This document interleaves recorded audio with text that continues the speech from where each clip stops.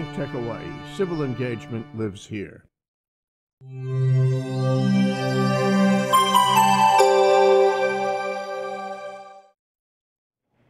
Hey, aloha, and welcome to Stan the Energy Man here on Think Tech Hawaii. I'm Stan Osserman from the Hawaii Center for Advanced Transportation Technologies, and uh, wanted to wish all the veterans out there uh, happy Veterans Day weekend coming up. And if, uh, if you know any veterans, give them a big hug or kiss as appropriate. And uh, if you don't know any veterans, go out and find one. They're really neat people. So we have a, a show. We're starting a little bit early today. We have a, a show coming up that is uh, fraught with uh, just current events that uh, surprise us. You know, as we came on the air and I started to talk to my guest this afternoon, um, we got Mike Strizki, uh, who lives in New Jersey but does a lot of work in California. So he's coming to us from California right now in the midst of all the wildfires that are going on. And uh, he's literally caught up in the middle of all of it. So he's, uh, he's actually calling in from a friend's house. And um, we can't even get a Zoom connection with him because uh, he doesn't have his computer equipment. Uh, it was all part of the casualty of, uh, of the fires that are going on. So Mike, um, thanks for joining us today. I really appreciate it, especially with all the, the stress going on over there and uh, things that have been happening. But thanks for joining us today. Oh, you're welcome, Stan. Like I said, this cause is so important. Uh, even in the uh, face of disaster, the word still needs to get out. Yeah, and um, and you yeah. made a comment earlier that uh, you know this the the climate change piece is uh, important, and that just kind of drives home the importance of clean energy and and going carbon free as soon as we can. Yeah, I mean, as the weather patterns are changing right now, we're seeing, you know, severe storms and severe droughts. I'm noticing it back in New Jersey, and I notice it here in California. Over the last uh, 10 years, uh, you know, the seasons here in Southern California are drier than they've ever been. Uh, in New Jersey, they've wetter. We've had the wettest year uh, in history in New Jersey with all the rain. I didn't see the sunlight for more than a couple of weeks uh, in the Northeast. And it's the rains, normally we would get light rains. Now we're getting monsoons. In California right now, that's the biggest story. If anybody's been watching the news, um, here in Thousand Oaks and Malibu, we had uh, the shootings yesterday, and then to compound that, we had the fires last night that's, uh, that burned uh, 14,000 acres including uh, you know my home at the Calamigos Ranch. Um, never seen anything like this in my entire life. I mean, people are trapped on the Pacific Coast Highway, not able to get out. It's uh, the fire is being driven by 50 mile an hour winds with zero humidity in it, which means that these fires are very fast moving and they have a lot of fuel to burn on. Uh, you know, multi-million dollar homes are all going up in smoke and there's not a firefighter in sight because the, this fire is so large.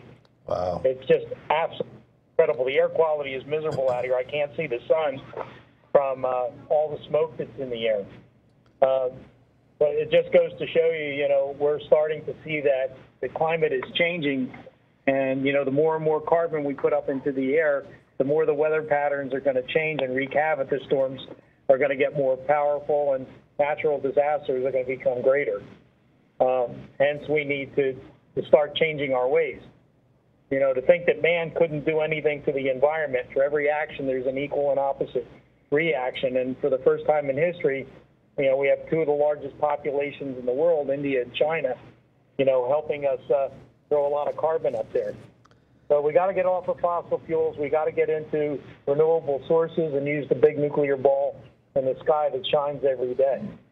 Hence, you know, the hydrogen economy. It's the only thing that's going to be able to turn the ship around and send us the other way.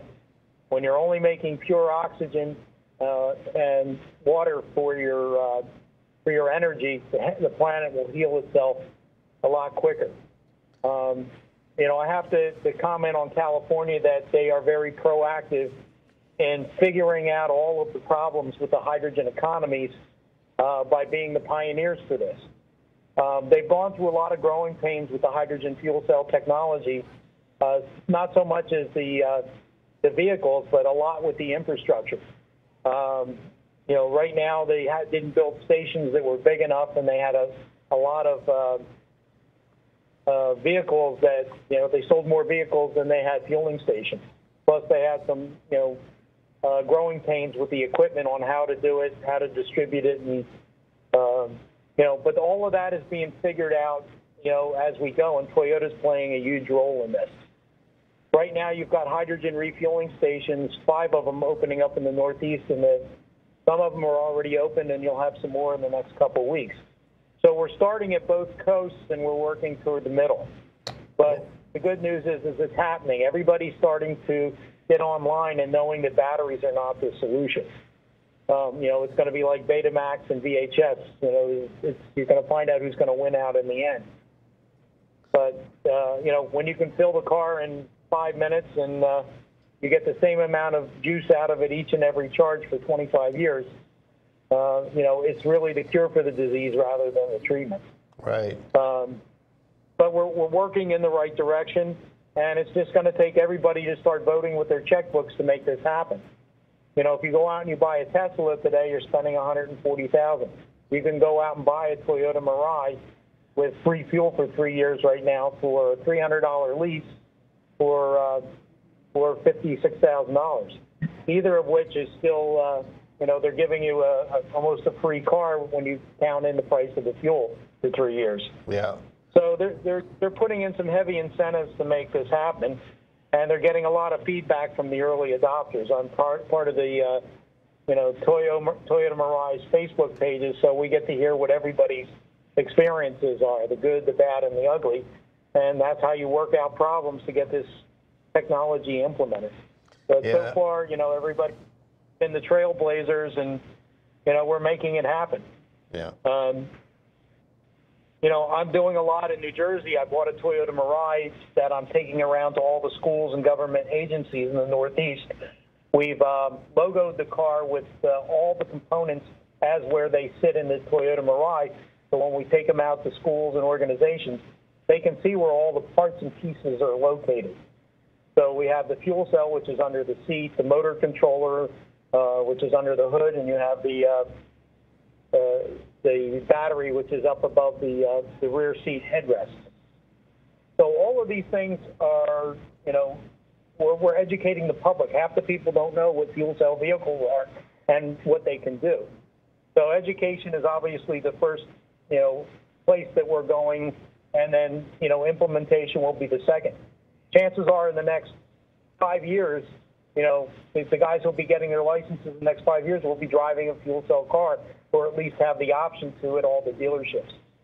Um, next week, I'm going to be going to another conference uh, here in California that is concerned over making renewable hydrogen. So, uh, you know, if we can make it from solar and wind, we're on our way to really starting to change the, the, the, planet.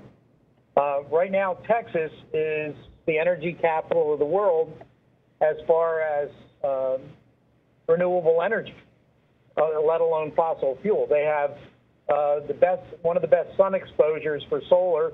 They have a huge amount of land mass, and they have the biggest amount of wind, uh, you know, of any other state in the nation.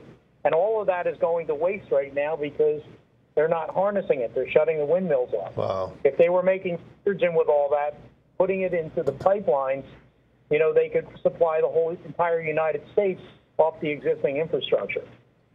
So all the keys are there, all the solution is there, the will to do it is all we need.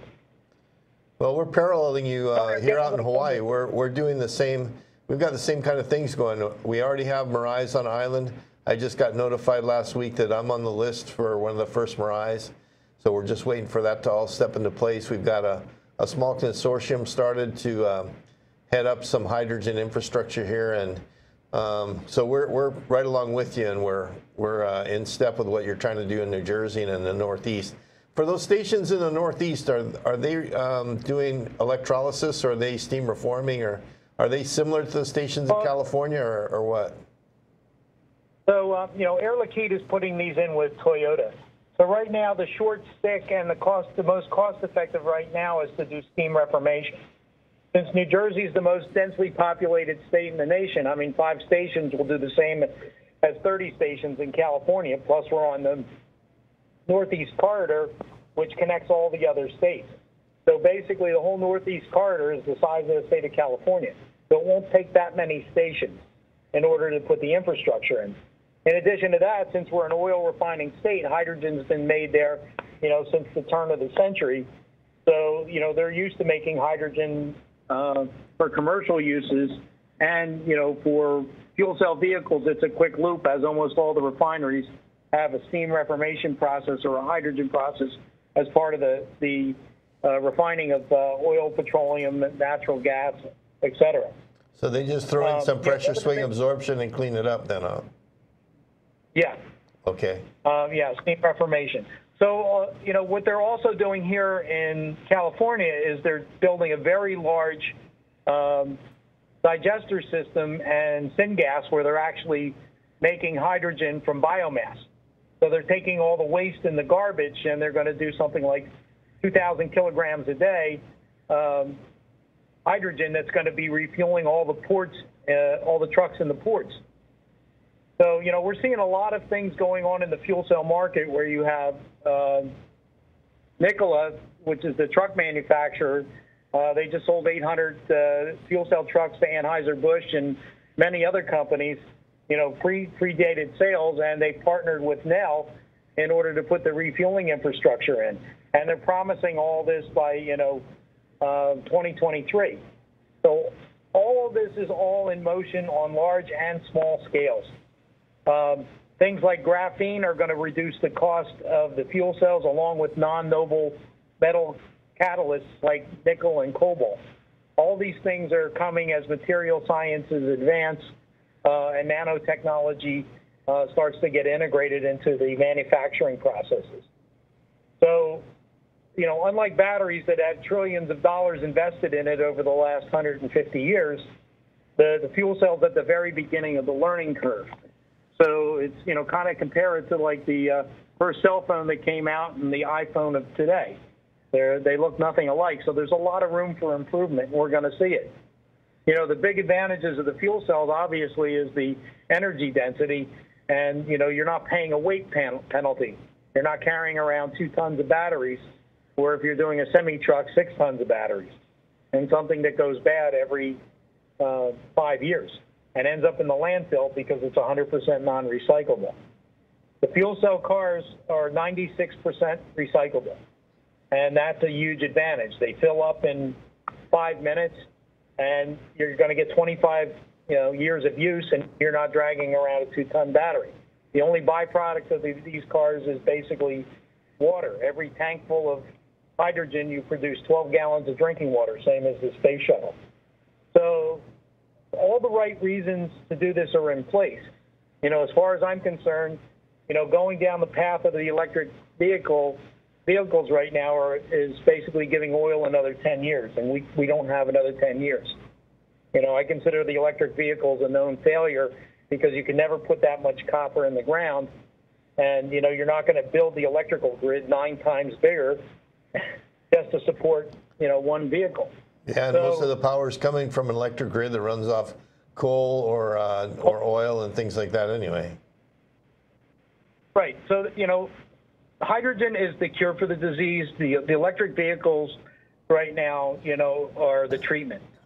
You know, so we, we there's certain diseases in life we have to cure, and energy is one of them. Yeah. And you know, th- we have to cure in front of us, but we're making too much money on the treatment. It's just like the drug companies. If you have the cure for cancer, you know, you're a dead man, and if you uh, you you have the uh, the treatment, you're golden. Yeah. Well, I Yeah, tell you what, Mike, we're, we're gonna we're gonna take a quick break here and come back and talk more about uh, the actual instead of treating the symptoms, going for the, the full cure in about uh, 60 seconds. All All right. right. All right. I'm Jay Fidel, Think Tech. Think Tech loves energy. I'm the host of Mina, Marco, and Me, which is Mina Morita, former chair of the PUC, former legislator, and uh, Energy Dynamics, a consulting organization in energy. Marco Mangelsdorf is the CEO of Provision Solar in Hilo. Every two weeks, we talk about energy, everything about energy. Come around and watch us. We're on at noon on Mondays, every two weeks on Think Tech. Aloha. When I was growing up, I was among the one in six American kids who struggle with hunger, and hungry mornings make tired days. grumpy days.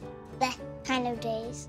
But with the power of breakfast, the kids in your neighborhood can think big and be more. When we're not hungry for breakfast, we're hungry for more. More ideas. More dreams. More fun. When kids aren't hungry for breakfast, they can be hungry for more. Go to hungeris.org and lend your time or your voice to make breakfast happen for kids in your neighborhood.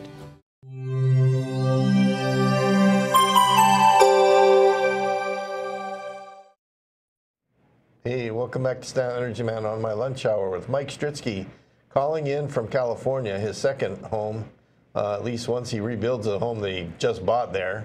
Um, apparently, the, the wildfires are going crazy again uh, over in California, and uh, it's time that we get our, our hand, heads wrapped around how to fix that problem.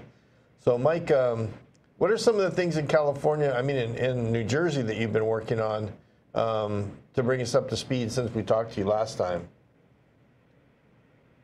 You know, the big things that are going on in California is now they're gearing to go to renewable energy for the hydrogen. Um, that's a big push because you got to pull the carbon out of the picture. Right. So, you know, um, things that are secondary, like, you know, making it out of biomass, which is carbon that would normally go into the atmosphere anyway, is preferable over virgin carbon where you, you know, pull it out of the ground and steam reform it from natural gas.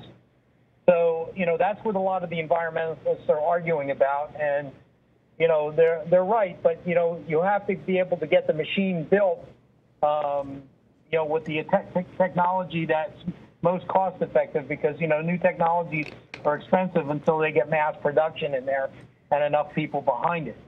So we're at the point right now where it's going to take everything.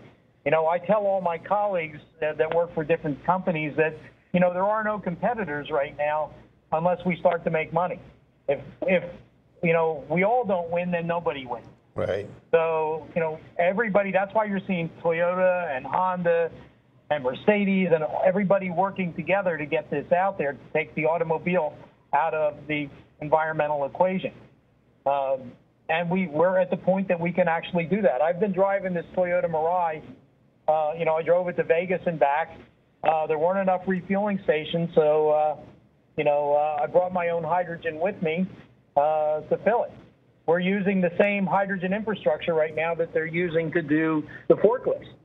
You know, my personal feeling is, is if everything goes down to 5,000 pounds rather than 10,000 pounds, you're going to get this technology out there a lot quicker because you know it's going to be at a pressure that's much more manageable for the uh, you know the technical general mm-hmm. gas distribution population that they're used to working with. How open is Toyota? How open is Toyota for that? Because I know that um, Chris McWhinney was trying to convince Toyota that you know his system could do 5,000 psi. Um, and, and do a half fill for a car, but Toyota was kind of resisting that a little bit. Are they open now?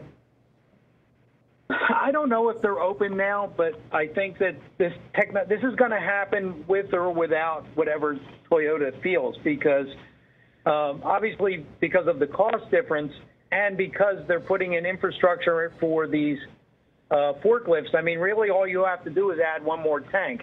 You know, as far as hydrogen goes, whenever you double the pressure, you double the storage. So yeah, obviously they want to get as much in there as possible, and they want to keep you know, the uh, refueling infrastructure as a specialty company, and I'm not in total agreement with, you know, yeah.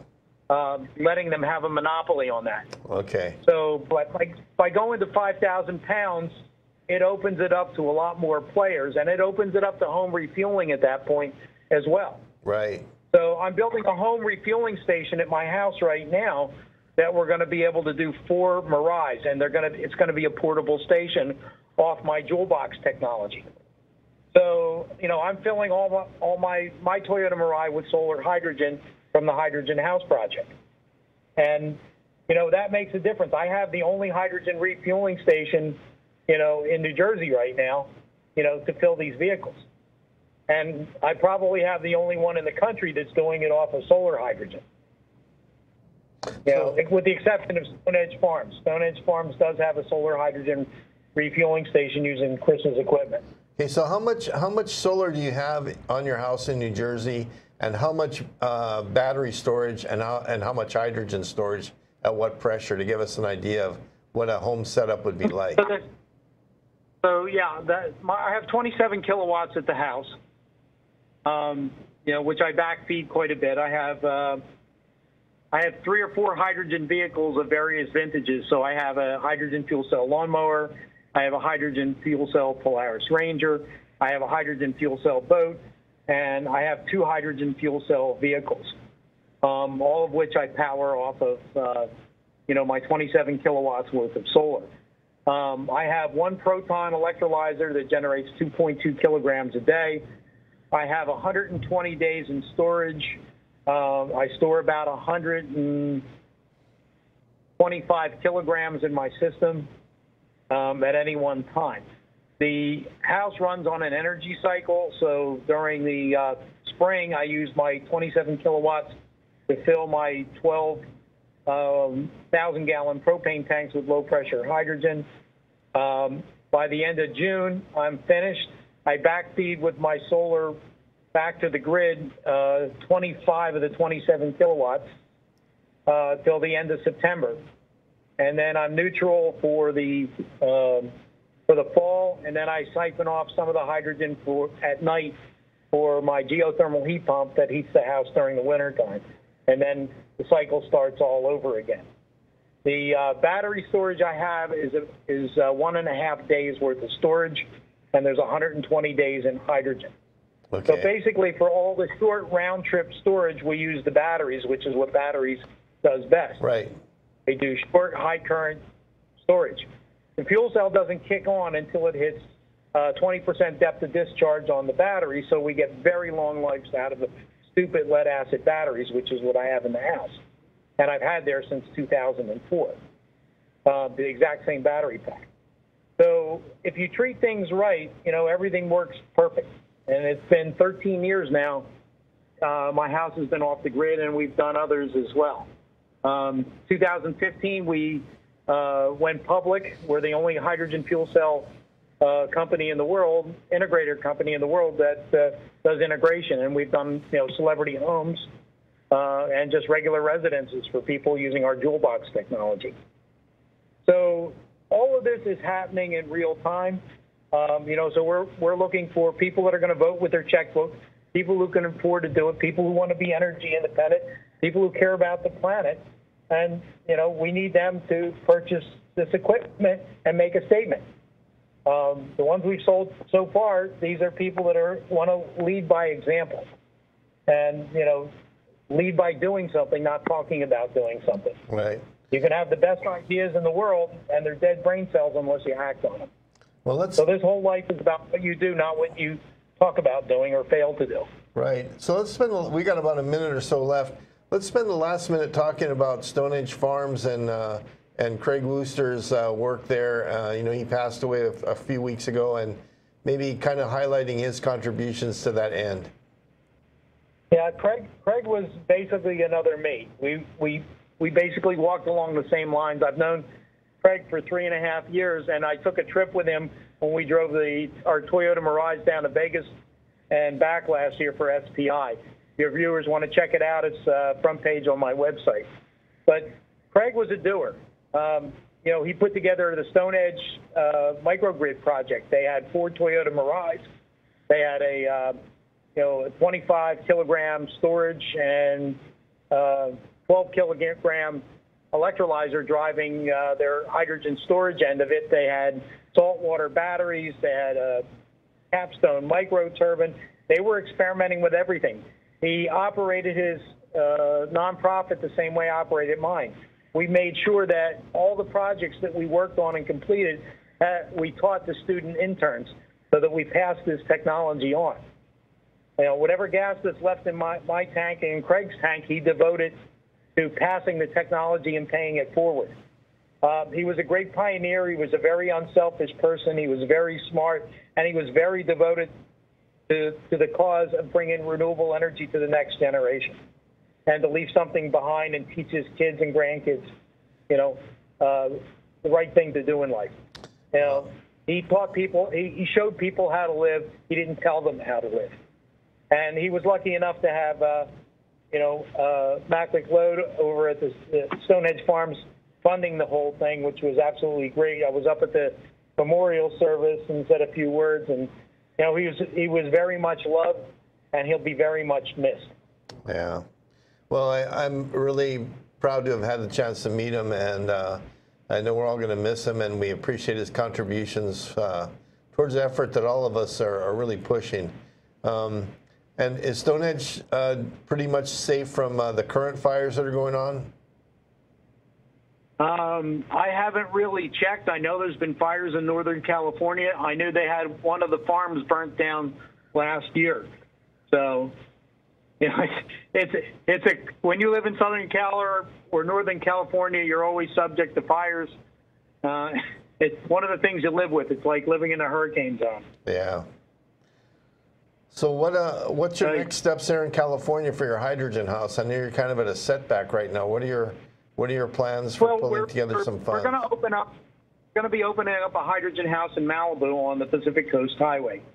Uh, we've already secured the building, um, and we're in the process right now of building all of the duplicate equipment I have at my hydrogen house to, to move out there. We've already been in contact with uh, Pepperdine to get student interns um, involved in uh, helping me run the nonprofit out here and building some of the equipment that we'll be doing demonstrations, uh, you know, in California. So I'm going to kind of pick up some of the slack that, uh, you know, Craig left behind to keep the uh, the legacy moving forward. Uh, so that's been a big focus. Um, you know, like I said, back at my home in New Jersey, we're doing student outreach programs. We're working with the Public Service Gas and Electric Internship Program. So we'd like to get 27 interns involved in, um, you know, this type of technology. So we're we're teaching them how to fish, not how to eat fish. Um, so I'm continuing those programs. So it's going to be education, outreach, uh, demonstration projects on both coasts. So we're going to start at either end and work to the middle. Well, and we're incorporating new technology as we go, as it becomes available. So we're looking for as many people as we can to, you know, to sponsor the effort. So if any of your listeners are so inclined, they can go to the Hydrogen House Project, uh, make a donation, or get involved in some of the stuff we're doing. Terrific, Mike, and we appreciate the, the work you're doing, the work being done at Stone Edge Farms.